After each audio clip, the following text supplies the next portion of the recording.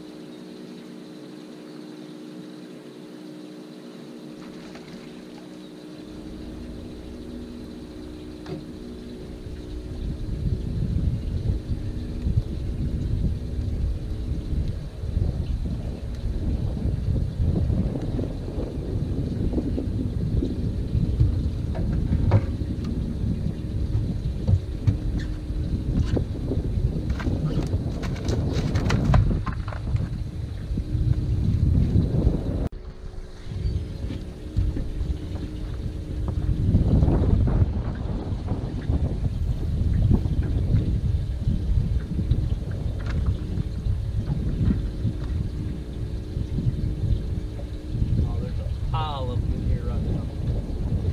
They're flashing over the bait. None of them them got it, but they're all right there. Pretty much call your shot with them.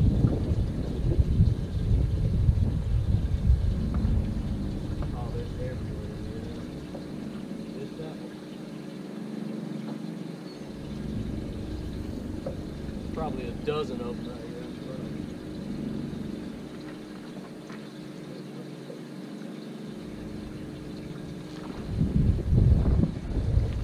Every now and then, you get lucky to get a double. I had two on just then, and one of them got off. Every now and then, that's a quick way to fill up the cooler. You can get doubles and triples. I'll get this one on some ice and then get right back out there, because I'm sure they ain't moving far.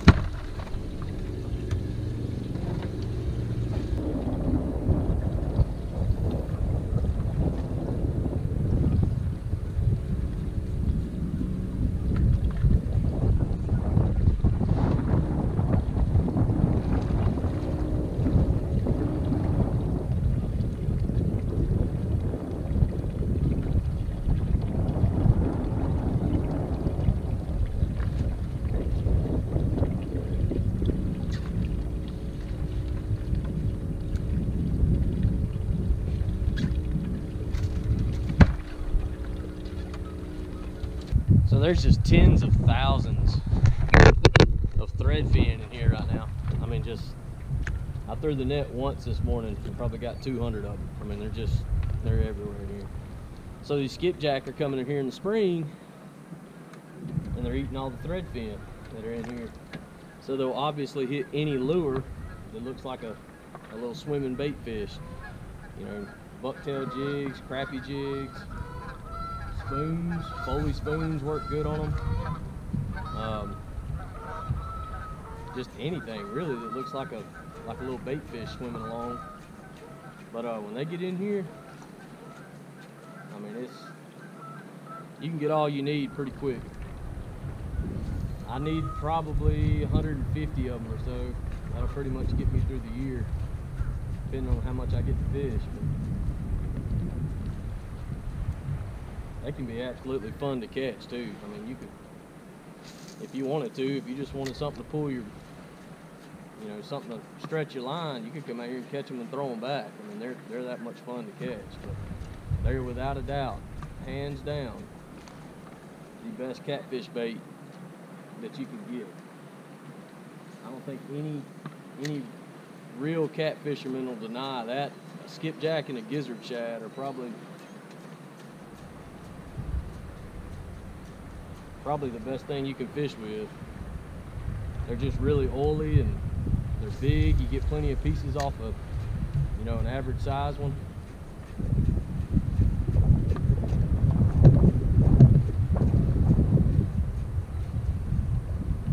And they'll let you know when when they're around. I mean, they'll break the surface. You'll see them schooling up shad. I mean, they're just like a hybrid or a largemouth or or anything else. I mean, they uh, they're gonna they're gonna feed on bait fish. They're gonna school them up. They'll break the surface. You know.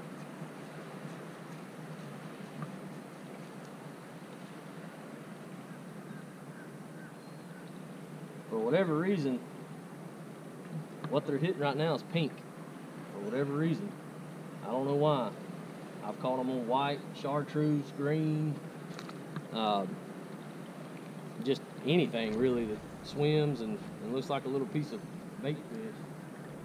Uh, chrome spoons, I mean, just whatever. But for right now, they're hitting pink pretty good. That's kind of the scouting report I got. Some people come out here and, and started catching some. And pink's what they were using predominantly to catch them, so that's what I'm gonna throw. So I didn't get any skipjack for a while, and uh, I kept seeing stuff flipping around me out here, out around the boat, and I was like, man, that's skipjack, you know, feeding on shad on top of the water. And then I got a really good look at one, and I said, that looks like a shad.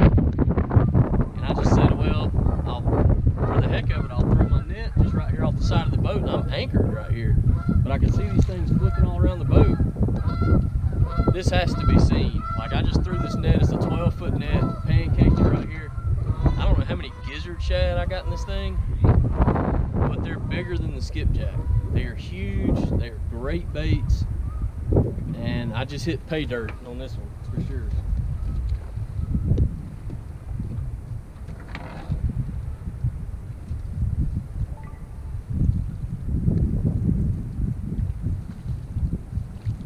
Try to shake them all down to the bottom so I can get them out pretty easy. These things are huge. They make great bait.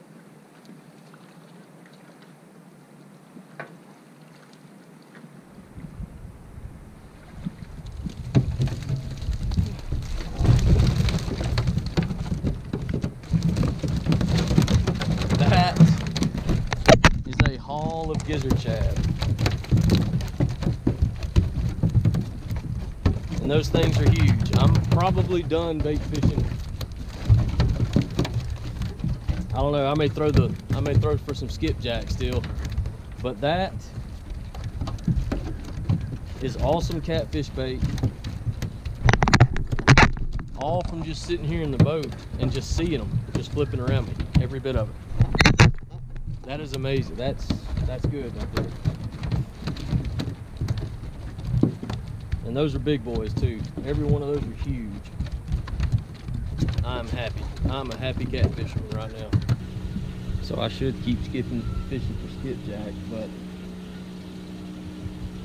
I got 21 gizzard shad the size of footballs in the uh, cooler. So I don't know. I'm gonna keep fishing for skipjack. We'll see what goes on with that, but.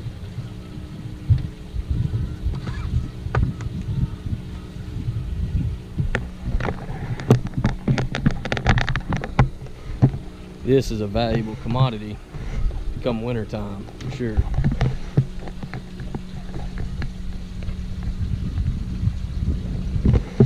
I literally can't get any more of them in there, so I'm about to fill up the live well with water and uh, start storing them in the live well because they're still flipping all around the boat. So we'll see what goes on. I may throw again. I'll probably skipjack fish for a little while longer, but that's a pile of good bait right there. That's big baits, good baits. Caught a few more skipjack, but the gizzard shad are still flipping all around the boat, so I'm gonna throw the cast net again. I mean, they're they're they're still flipping everywhere, so I'm gonna throw it and see if I can load up on some more of them.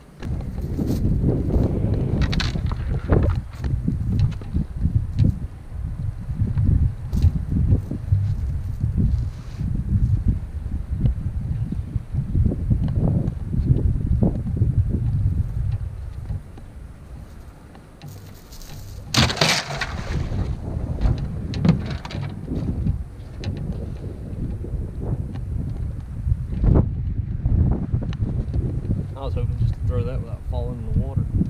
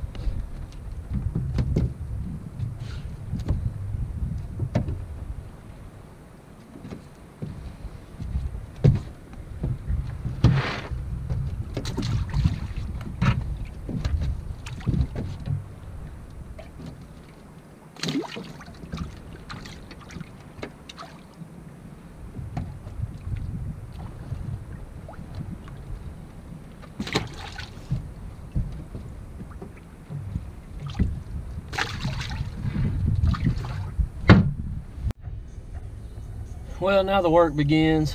Got about 40 gizzard shad, probably 30 of them are the size of footballs. So it's gonna take up some freezer space. Got about 12 to 15 skipjack. I don't know, they wasn't really on that good, but now the work begins, going home freezing all this stuff up. But I don't know, got some bait for a little while.